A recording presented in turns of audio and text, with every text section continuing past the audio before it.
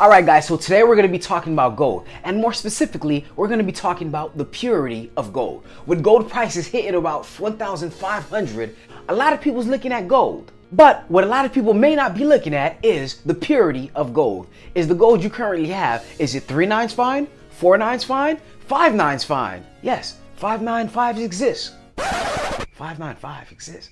5 fine exists. And today we're gonna go over some of the basic knowledge you guys need to know about fine gold. And we're starting now.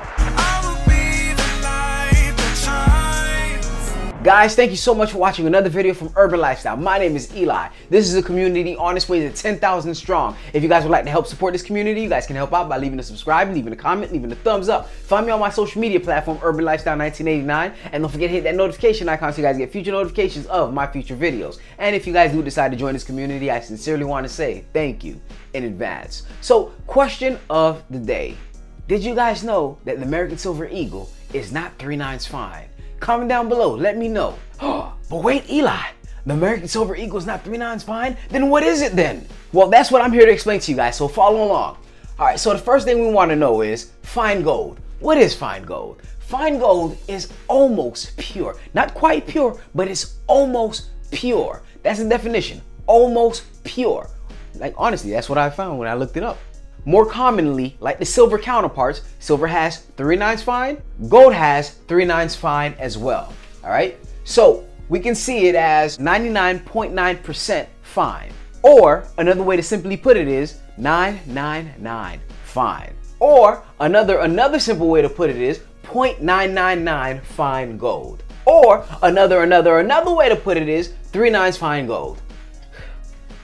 Trust me, man, this is hard to do. I should have bloopers for this. Now, like a psychic, I know exactly what you're gonna ask me. Well, dang, is there such thing as 100% pure gold? Well, dang, I, I honestly didn't expect that question at all. Like, man, I thought you was gonna ask me, what did I eat this morning? But anyways, 100% pure gold is virtually impossible to make. That's it. Virtually impossible. Yeah, I guess this is what they mean by virtually impossible, because, what, this is an eraser? Oh.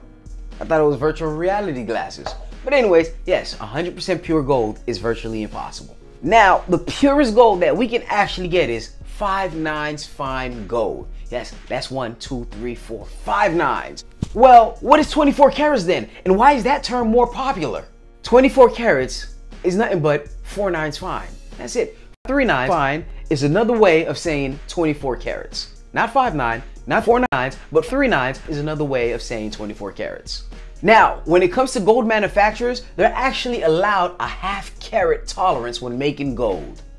I don't know about you, but if a manufacturer is making gold for me, I want all of it, even that half that they're allowed to be missing. I want it all. Now, another fun fact about purity when dealing with gold is 995, not three nines, but two nines and a five.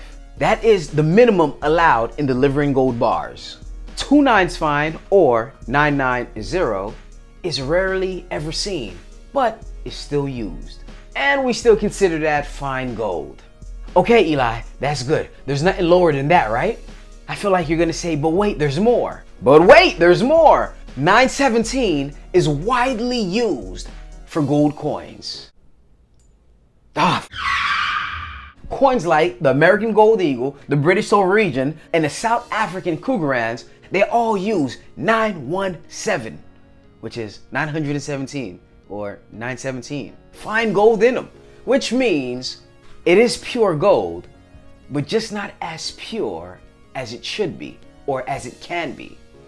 So the whole point of this is hey, I bought me an American Silver Eagle. And when I bought it and I paraded it online and I was like, yeah, I got this, I got this, I got this American Golden Eagle. And then the comments was like, well, uh, I'm not even buying those, man. Those are not pure. Like the grade in that is even lower. Man, you just jealous, man. Come on, man. You know, be happy for me.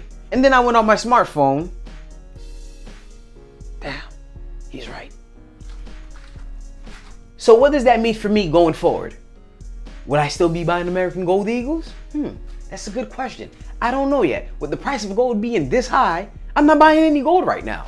I'm waiting for a small dip. Not even a small dip, a huge dip.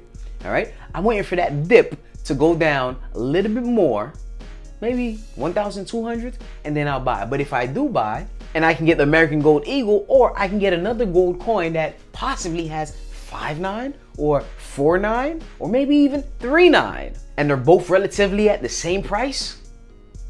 I'm going for the higher grade of gold. And that's just my thoughts. And that's pretty much all I have for you guys today. I want to know what you guys think. Did you guys know about all this I just mentioned today? Comment down below. Let me know. But guys, thank you so much for watching another video from Urban Lifestyle. Don't forget to hit that subscribe button, leave a comment, thumbs up. Have a beautiful day. And don't forget to always work and grind.